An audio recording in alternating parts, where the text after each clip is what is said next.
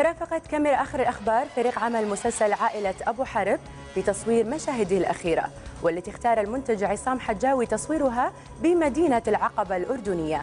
هذا العمل يعتبر الأضخم إنتاجيا على المستوى المحلي حيث وصلت تكلفة الإنتاج إلى حوالي 2 مليون دينار أردني.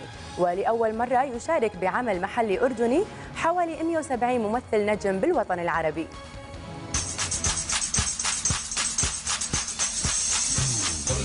انتهت أسرة المسلسل الأردني عائلة أبو حرب من تصوير آخر مشهد من مشاهدها.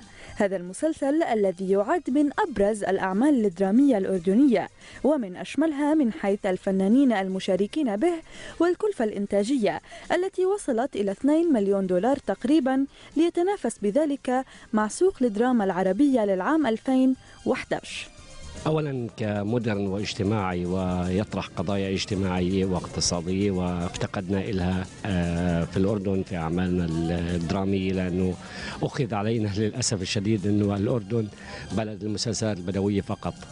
لكن في هذا العمل سنثبت من جديد أننا قادرون على أن نقدم أعمال درامية واجتماعية ومودرن وعمان جميلة جدا في مناظرها ومشاهدها الخلابة. أيضا هناك فنانين اللي بنعتز فيهم اللي استطاعوا انهم يجسدوا أدوارهم.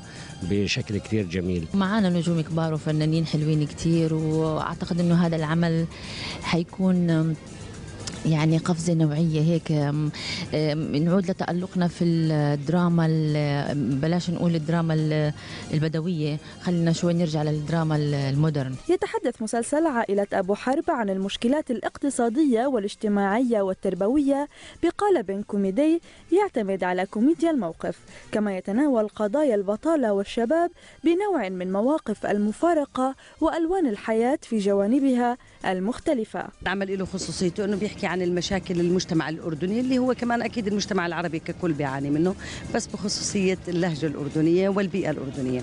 بيحكي عن الشباب الصغار بيحكي عن المتوسط أعمارهم بيحكي عن الكبار بالسن اللي هم خلينا نقول ختياريه بيحكي عن الترابط الأسري وقد إيه ممكن يكون مهم بخضم هاي الحياة العادية اللي هلأ بطل هذا الحكي. يشار إلى أن هذا المسلسل ولأول مرة على المستوى المحلي الأردني يشارك فيه 170 فنانا من نجوم الساحة العربيه كسلمى المصري وخالد تاجة وصبا مبارك ومنذر رياحنة وغيرهم. أما الحلقة الأخيرة فقد حملت طابعا مميزا بحضور الفنان الأردني إياد نصار الذي جاء من القاهرة خصيصا ليشارك كضيف شرف في المسلسل. الأمر الذي أضاف للحلقة الأخيرة نكهة خاصة الشيء المميز يعني في هذا الحدث الختامي بأنه مشاركة الفنان النجم الأردني الأستاذ رياض نصار اللي إحنا بنشكره يعني شكر خاص جدا على مشاركته آه، في هذا العمل ودعمه لهذا العمل وهذا دل على شيء أو دل على انتمائه للفن والفنان الأردني وإحنا بنشكره مرة ثانية باسمي وباسره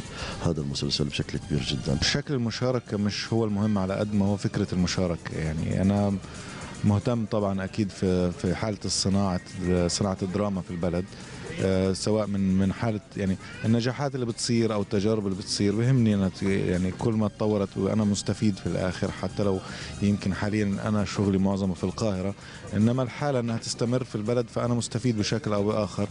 آه، لما حسيت إنه في لحظة إنه مشاركتي تكون مفيدة لعمل بشكل أو بآخر مع مع كوكبة النجوم الموجودة في العمل. فطبعا ما ترددت يعني ما فكرت مرتين في الموضوع.